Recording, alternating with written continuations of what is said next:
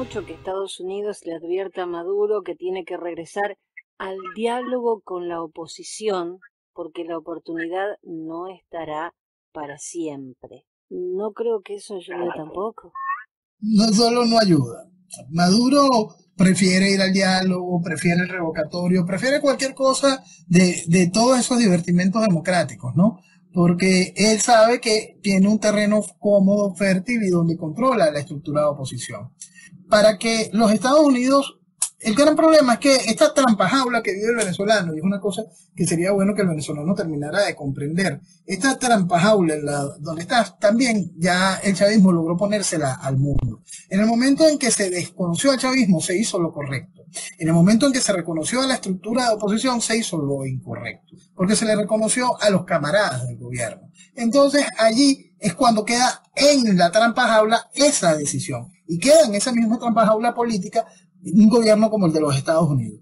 Porque le dieron su reconocimiento, su buena pro, sin terminar de entender que esa estructura de oposición venezolana simplemente son los cómplices. Entonces están entrampados. No puedo venir a decirte, ahora no, ahora yo te quito tu apoyo, no se reúna de México, no tengo nada que ver contigo, porque ya lo hiciste.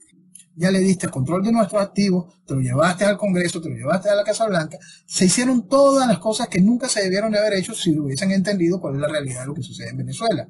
Es imposible estos 20 y tantos años de destrucción y de, de control social sin la colaboración de eso que se llama oposición. Es evidente el fraude constante, es evidente la inviabilidad electoral, es evidente el control total que existe sobre el aparato constitucional, es evidente que en Venezuela no existe Estado de Derecho y aún así le han dicho al mundo que estos problemas se resuelven de manera democrática. Desde el principio, nunca ha habido ningún tipo de oportunidad para salir de esta desgracia dentro del marco del librito ridículo. Me parece bastante eh, duro que el embajador norteamericano desee que el régimen regrese a la mesa de negociaciones para terminar con las múltiples crisis. James Story se está haciendo una historia personal, porque esto no tiene nada de realidad.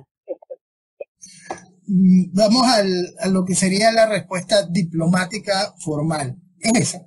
Esa es la respuesta diplomática y es lo único que, que hay. Y tienen a un hombre que es experto en eso, en mantener el chiste, en mantener la gracia y en querer dejar que las cosas sigan pasando porque no tienen una solución ninguna, porque la solución a este tipo de cosas son hechos de fuerza. Y estamos en un punto muerto en cuanto a las decisiones en materia internacional de los Estados Unidos.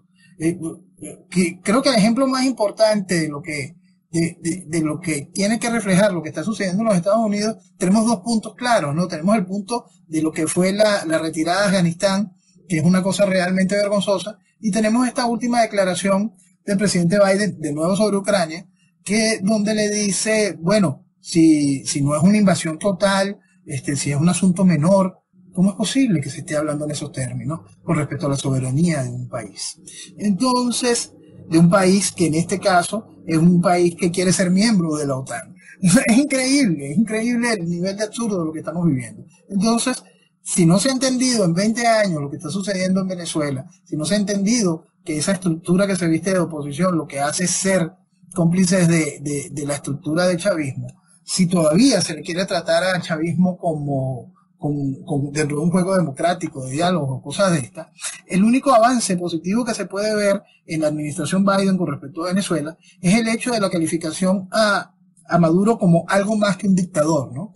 Eh, todavía no se utiliza la palabra tirano, se utilizó en el término de mezclarlo más con el hecho de que es un dictador criminal, narcotraficante, pero lo cierto es que cuando se termine de entender de verdad lo que sucede aquí, quizás sea muy tarde. Y por eso es que la solución a este tipo de cosas pasan exclusivamente en primera parte por la decisión del venezolano. Si el venezolano continúa mintiéndose, por supuesto no va a haber alternativas de salida. Eh, con respecto a esta negociación en México, se iba a tratar allí la reforma del sistema judicial, pero Maduro se adelantó y promulgó la reforma sin acuerdo con la oposición.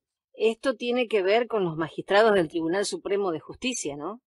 Y más, parte del aparato también se ve abajo sobre la aplicación de ciertas leyes, los, tiempos. Este, mira, esta es creo que la doceava reforma del sistema judicial en los tiempos del chavismo.